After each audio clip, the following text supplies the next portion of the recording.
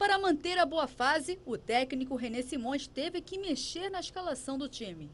Com a saída de Marcelo Matos, o treinador vai improvisar Diego de Areta na função de volante e formar dupla na zaga com Roger Carvalho e Renan Fonseca. Estávamos trabalhando, conversando com outros treinadores para encaixá-lo. Um outro me ligou e disse: pô, o que, que houve com o Matos nos bastidores? Eu digo absolutamente nada. O que houve aqui é a questão do salário, é meu segundo capitão importante, mas não dá para segurar ele por causa do salário.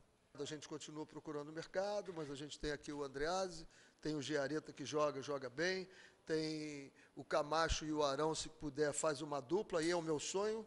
O meu sonho é jogar sem volante, né? A gente joga com um volante, meu sonho é jogar sem volante, que sejam quatro meias que trabalhem muito bem, que todos saibam ocupar espaço e marcar.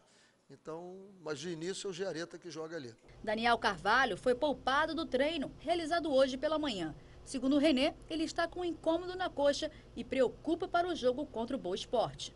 Esse incômodo e vem ontem eu senti ele preso e começar o jogo ele não começa. Vou levá-lo no banco, mas não vai começar não. E amanhã o Botafogo vai ter a oportunidade de confirmar força em casa ao receber o Boa Esporte. Caso vença a partida, o Alvinegro irá atingir a melhor campanha na história de pontos corridos da Série B. O Botafogo venceu as 12 partidas que disputou no estádio Newton Santos neste ano.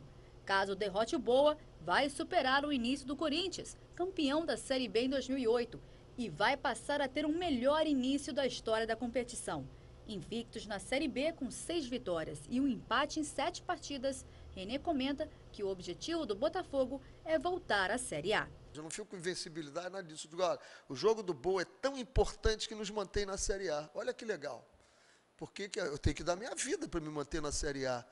Então o Botafogo, nessa posição, ele não joga a Série B, ele joga a Série A. Estou jogando a Série A. Série A, Série A. Então, jogo a jogo.